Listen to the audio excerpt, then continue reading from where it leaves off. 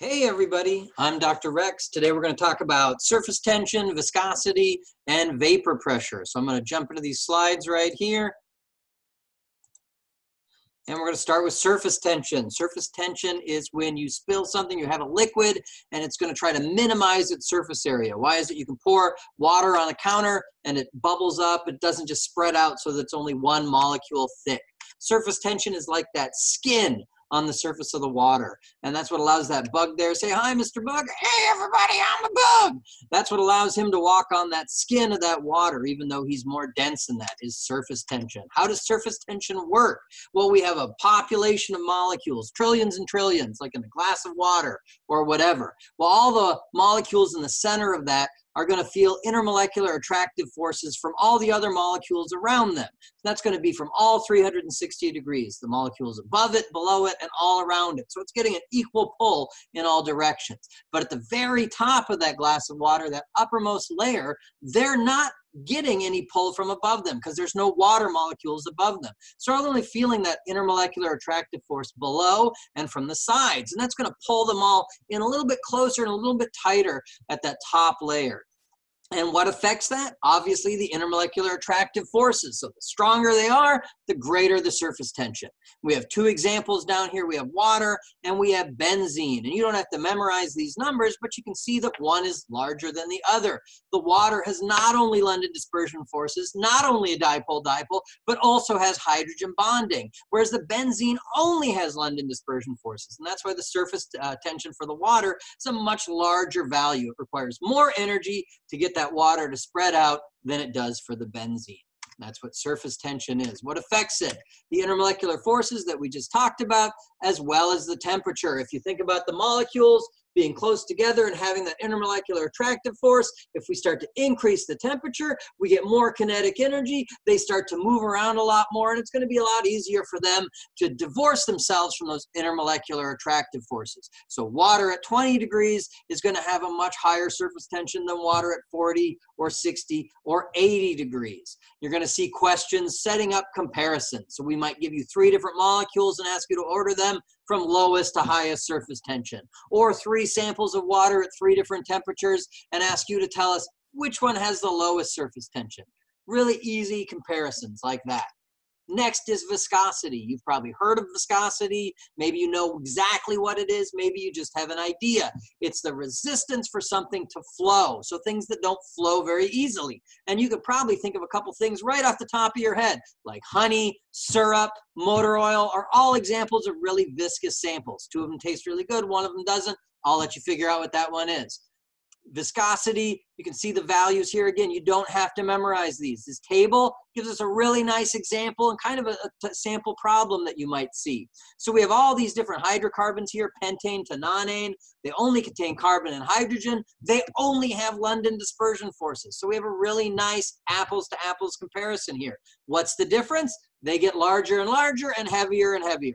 And what happens to London dispersion forces when things get bigger and bigger and heavier? They increase. So nonane has greater intermolecular attractive forces than pentane does. So it's going to be more viscous. And there it is. It's over three times as viscous as the pentane.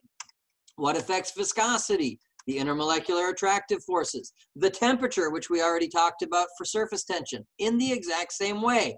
Increase the temperature, give it more kinetic energy, more molecular motion, the viscosity decreases. It becomes more easy, more liable to flow. The other thing that affects it is the shape of the molecules. If you remember with London dispersion forces, things that are long chains that are flat have a lot of surface area where the things can interact and experience those intermolecular attractive forces. But spheres only are going to contact at one small point. They have much less uh, contact or surface to surface contact. So they're going to have lower attractive forces. So things that are long, flat chains are going to be much more viscous than things that are spheres, and their spheres are going to be able to move and flow around each other much more easily. Capillary action. You've probably seen this in action before if you've ever had a straw in your hand and some liquid. You'll notice that the liquid will travel up the straw of its own volition against gravity. That's what capillary action is, is the ability of a liquid to flow up a narrow tube against gravity. You're looking at two different forces here, the cohesive forces, which are the intermolecular attractive forces between the molecules, and the adhesive forces, the interactions between the wall of that tube and whatever liquid we happen to be uh, dealing with.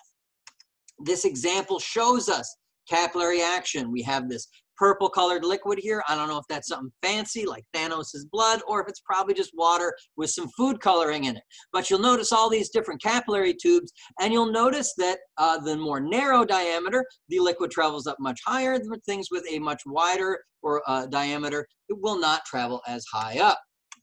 This brings us to what we call a meniscus, not the thing in your knee, but actually this little bump here or divot in the water uh, that we see when we have capillary action. So what we have going on here is the adhesive forces at the very edge of the tube between the molecules and the material of the whatever the tube happens to be made of. And we have the cohesive forces. You can think about all these little water molecules like a bunch of guys holding hands making a long chain. And of course they're only so strong so it's going to dip here in the middle before it gets to the end here where we have these adhesive forces again. Um, the weaker the intermolecular forces the further that meniscus is going to dip. Well, what if we had super strong intermolecular forces, like over here? If we have metallic bonds or interactions, those are actually extremely strong. So this is mercury, the only liquid metal that is a liquid at room temperature. And you can see here the intermolecular forces are actually stronger. The cohesive forces are stronger than the adhesive forces on the end. So instead of a bunch of regular guys making a hand chain, here we got Eddie Hall and Brian Shaw and Hafthor Bjornsson, and we get this positive div or, uh, or divot right here that actually rises up above the adhesive forces. Last, we're going to get into what we call the molecular dance and vapor pressure. Doesn't that sound fancy? We call it the molecular dance because things are constantly in motion, even though we can't see it or we don't think of it that way. When you look at a glass of water, when you look at a tabletop, it looks static. It looks like it doesn't move at all. But of course, the reality is, is that the molecules, the electrons, are constantly in motion. And because of that, there's a certain amount of energy. Well, some of those molecules are going to have enough energy to enter into the vapor phase or to change phase. So here we have this large sample of water. This beaker is full. We have trillions upon trillions of water molecules. The vast majority of them do not have enough energy to enter into the vapor phase, but some small percentage do. So if we think about that, we have these nice pretty graphs right here. In blue, we have this sample of water, this entire water population, all the water molecules are going to be represented under that blue line, the area under the curve. And we have this dashed line right here that represents the amount of kinetic energy that those molecules are going to need to divorce themselves of their intermolecular forces and go into the vapor phase. Well, you can see in this little purple area here, the area under the curve, it's a pretty small fraction of those molecules that will have enough kinetic energy to do so. If we start to increase the temperature, if we give those molecules more energy, you'll notice the shape of the curve changes. We have this red curve now, and the area under the curve with enough kinetic energy to enter into the vapor phase increases. This Orange area, of course, has a much larger uh, or much larger area than the purple area right here. So the higher the temperature, more evaporation we're going to see. The opposite of evaporation is condensation. So within those vapor molecules, the same way. They have some distribution of energy, some small fraction of them won't have enough energy to stay in the vapor phase, so they're going to condense into the liquid phase, something you've seen before. And of course, if we reduce their energy even further, if we make it colder and colder and colder, we'll see more and more and more condensation. So both these processes actually will happen oftentimes at the same time, even though you're not aware of it or you can't see it. We'll have some amount of water that's evaporating and some amount of water that's condensing. Of course, the intermolecular attractive forces, again, are what affect this. So things that have very strong intermolecular forces are going to require more energy to enter into the vapor phase. So we're going to see a much smaller rate of evaporation. And things that have weaker attractive forces will evaporate much more easily, and we'll see a larger rate of evaporation. Things that evaporate very easily are said to be volatile, things with very weak intermolecular attractive forces like gasoline, acetone, fingernail polish remover, and things that do not evaporate easily, things with large intermolecular forces, are said to be non-volatile, like water or motor oil. What does this mean in terms of uh, actual numbers? How can we measure this, quantify this? Well, evaporation is an endothermic process. That means we have to put energy into it to get it to happen. It makes sense. And uh, it has a positive sign. So we call that the heat of vaporization. So everything's been conceptual. It's been nice and easy, right? Well, now we have more weird uh, letters and numbers so that we can scare you and make you start doing math. So this is known as the heat of vaporization, delta H vap, the enthalpy of vaporization. And it's specific to every substance and different for every substance. Now, you'll see a bunch of numbers here. You don't have to memorize any of those though. Just know that water is gonna have a specific enthalpy of vaporization and acetone is gonna have its own.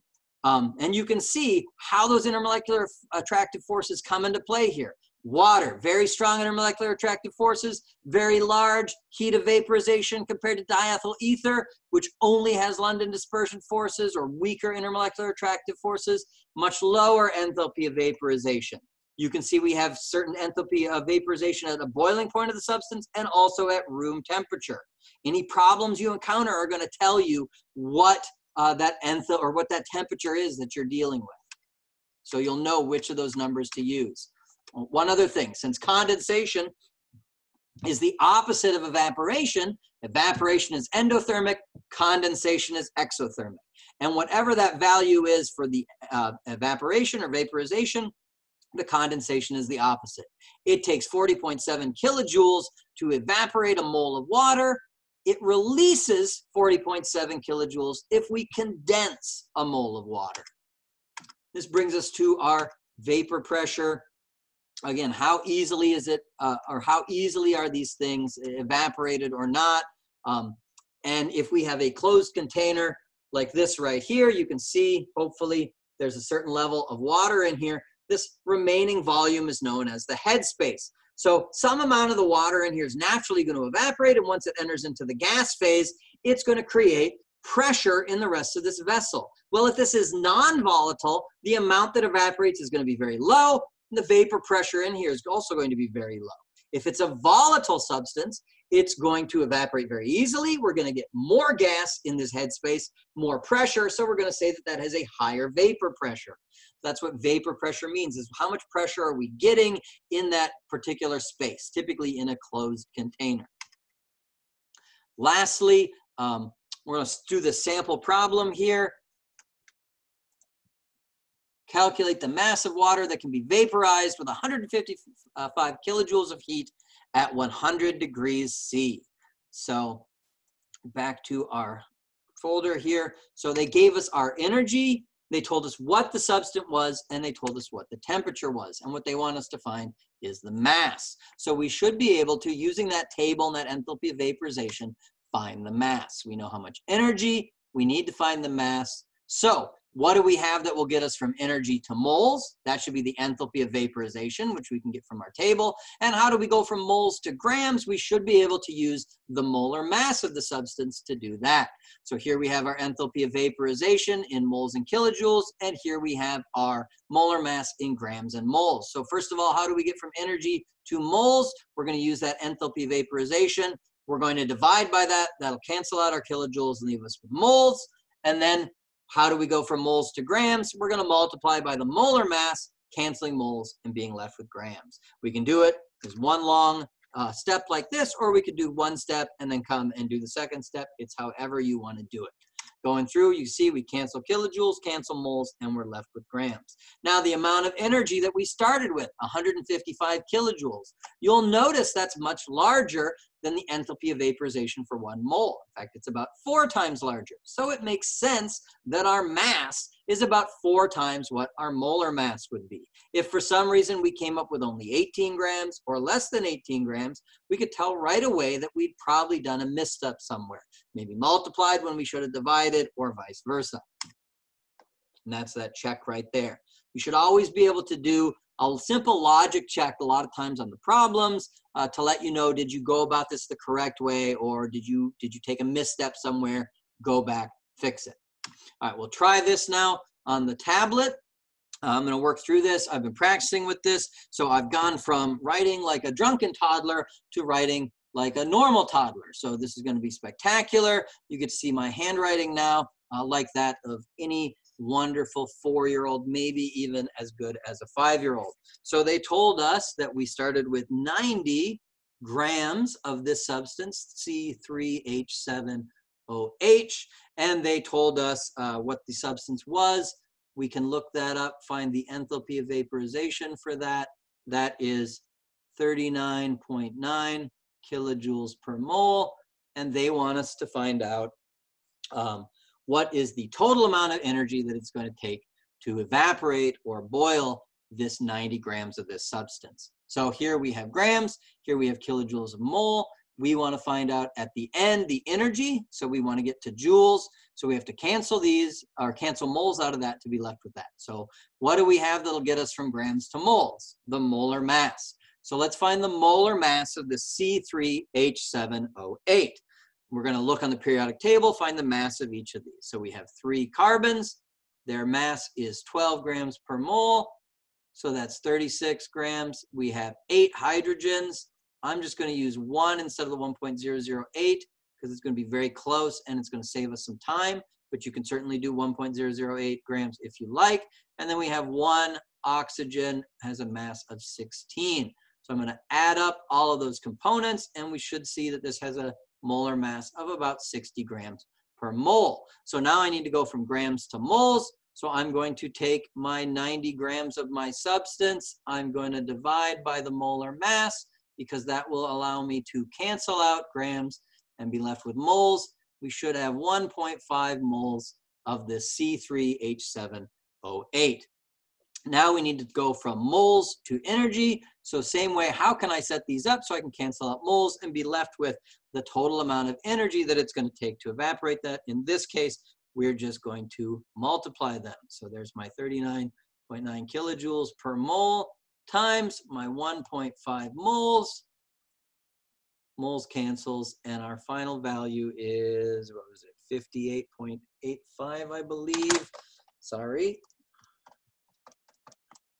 59.85. So 59.85 kilojoules is the amount of energy we will need to put into this to evaporate or vaporize that 90 grams of that substance. Always watch your units. Be sure that they want the final answer in kilojoules. If for some reason they ask for it in joules or something else, make sure you convert and your final answer agrees. Uh, that's everything with this. Please give me feedback on this video. Let me know what I can do to make these better for you. Uh, I look forward to making more of these. I hope you found it helpful. Have a great day. Peace.